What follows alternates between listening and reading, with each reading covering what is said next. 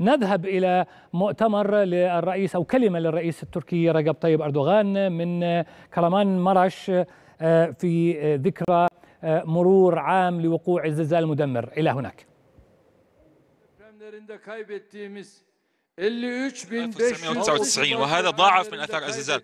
إذ أبتدئ حديثي فإني أستحضر مواطنين 53 ألفا وثلاثمائة وخمسة وثلاثين. نستذكرهم بالرحمة والغفران وبتلاوة الفاتحة على أرواحهم.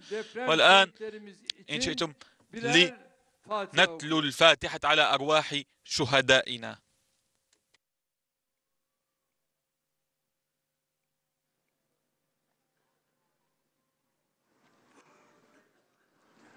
Amin desin hep birden yiğitler. ليؤمن كل الأغرار والأبطال. الله أكبر الله أكبر. كذا صدحت أرواح الشهداء. الله أكبر الله أكبر.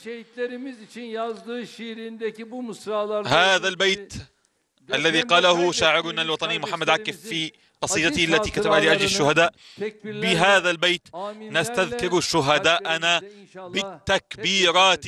وبالدعوات سنبقي ذكر شهدائنا أحياء في قلوبنا. نسأل الله بحرمة ليلة المعراج التي ندركها هذه الليلة أن يتغمد شهداءنا بعفوه وغفرانه. من هذا الزلزال تضر كل مواطنينا وعلى رأسهم أولئك الذين تضرروا بشكل مباشر من الزلزال أسأل الله لهم السلامة أحد مميزات شعبنا العريقة هي أنه يشترك ويشارك بعضهم بعضا في الأتراح كما في الأفراح فيكونون قلبا واحدا وعلى قلب رجل واحد الصبر والأمل والصمود والتضامن والتساعد والتضحية. هذه الخصال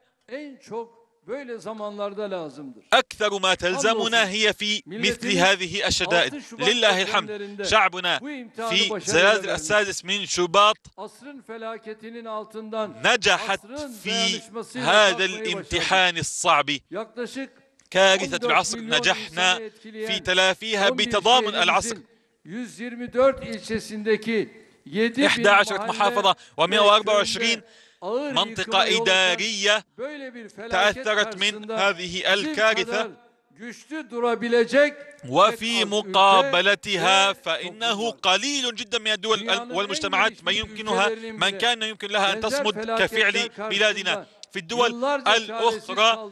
كم شهدنا دولا؟ بقيت سنوات تواجه زلازل وكوارث بمثل هذه الكارثة. لله الحمد نحن في الذكرى الأولى السنوية الأولى لهذا الزلزال. ندرك هذه الذكرى السنوية. ونحن قد نهضنا بجزء مهم من مدننا هذه